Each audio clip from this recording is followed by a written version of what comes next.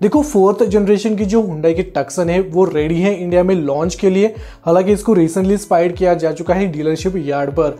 Global market में fourth generation Tucson को सितंबर 2020 में लॉन्च किया था, लेकिन इंडिया में इसकी लॉन्चिंग बाकी थी तो यहाँ पर अभी इसकी लॉन्चिंग भी बहुत ही करीब आ चुकी है। तो इस वीडियो के अंदर मैं अपकमिंग यानी फोर्थ जनरेशन टक्सन के बारे में डिटेल में बात करूँगा, जिसको बहुत जल्दी लॉन्च किया जाना है। सबसे पहले हम डायमेंशन के बारे में बात कर लेते हैं। फोर्थ जनरेशन टक्सन के डायमेंशन चेंज होने वाले हैं, यानी करंट मॉडल जो इंडियन मार्केट में बेचा जा रहा है, उसके डायमेंशन थोड़े से अलग है और जो आने वाला मॉडल रहने वाला है फोर्थ जनरेशन मॉडल के डायमेंशन थोड़े से अलग रहने वाले हैं। जैसे कि अपकमिंग टक्सन की लेंथ रहेगी 4500 मिलीमीटर की, जो कि करंट मॉडल के मुकाबले 20 एम mm ज़्यादा रहेगी। इसके अलावा इसकी विड्थ 1865 mm की रहेगी, जो कि करंट मॉडल के मुकाबले 15 mm ज़्यादा रहेगी। और इसकी हाइट 1665 mm की रहने वाली है, जो कि करंट मॉडल के मुकाबले 5 mm ज़्यादा रहने वाली है।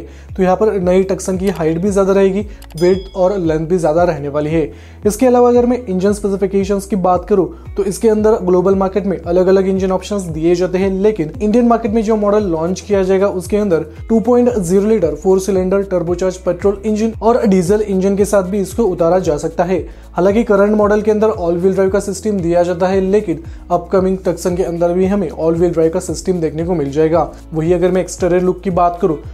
तो इसका फ्रंट फीशा रियर का प्रोफ़ाइल और साइड का प्रोफ़ाइल दिखने में काफ़ी ज़्यादा अट्रैक्टिव है और इसका lighting setup most attractive part है इस कार के एक्सटीरियर में। हालाँकि इसके फ्रंट फीशा में आपको एलईडी डीआरएल के पैटर्न्स देखने को मिल जाएँगे ग्रिल्स के सराउंडिंग में, जो कि दिखने में थोड़े से यूनिक लगते हैं और इसके एयर डैम के अंदर आपको फुल एलईडी हेडलाइट का सेटअप भी देखने को मिल जाएगा। इसके फ्रंट ग्रिल्स के ऊपर आपको क्रोम के बार्स मिलेंगे। इसके अलावा ड्यूल टोन बम्पर का इस्तेमाल इसके फ्रंट फीशा में किया हुआ है। आप इसका फ्रंट फीशा स्क्रीन के ऊपर देख सकते हैं। दिखने में काफ़ी ज़्यादा अट्रैक्टिव है। साइड से भी टक्सन दिखने में काफ़ी ज़्यादा अट्रैक्टिव है।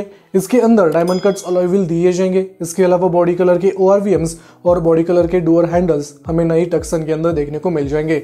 इसका स्लोपिंग रूफलाइन भी काफ़ी ज़्यादा बढ़िया है और इसका रियर का फीशा आप देख सकते हैं। इसके रियर के फीशा में काफ़ी बड़ी एलईडी टेल लाइट का इस्तेमाल किया हुआ है, जो कि मेजर अट्रैक्शन है इस कार के अंदर।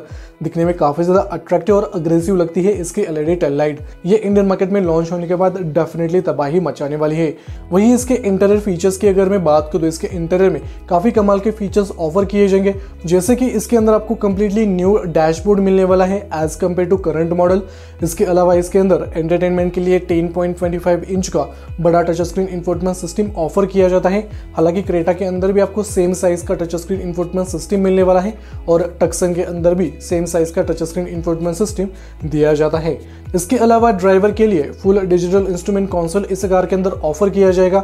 इसके अलावा मल्टी फ़ंक्शन स्टीयरिंग व्हील का ऑप्शन भी हमें इस कार के अंदर देखने को मिल जाएगा।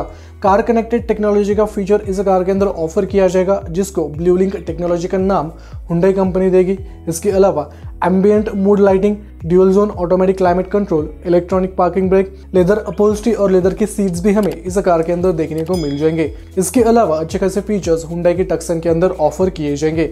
हुंडई कंपनी नई टक्सन को मार्च 2022 तक इंडिया में लॉन्च करेगी। हालाँकि अगले महीने इसको इंडिया में रिवील किया जाएगा। यानी इसके सभी फीचर की लिस्ट अगले महीने सामने आ जाएगी। और इसकी जो कीमत रहेगी वो लगभग 23 लाख रुपए से शुरू होगी बेस मॉडल की एक्शोरूम प्राइस और जो करंट मॉडल आता है इंडिया में उसकी कीमत 23.69 लाख रुपए से शुरू होती है। बेस मॉडल की एक्शोरूम प्राइस और करंट मॉडल का टॉप वेरिएंट 27.47 लाख रुपए तक चला जाता है। तो जो फोर्थ जनरेशन टक्सन रहने वाली है, उसकी कीमत लगभग 23 लाख रुपए से शुरू हो सकती है बेस मॉडल की एक्शोरूम प्राइस आपको हुंडई की ये कार कैसे लगी मुझे कॉमेंट सेक्शन में ज़रूर बता देना। ये वीडियो अपने सभी दोस्तों के साथ और परिवार वालों के साथ ज़रूर शेयर कीजिएगा। चैनल पर नए हो तो चैनल को सब्सक्राइब करके बल नोटिफिकेशन को ऑन ज़रूर कर लेना। Thank you.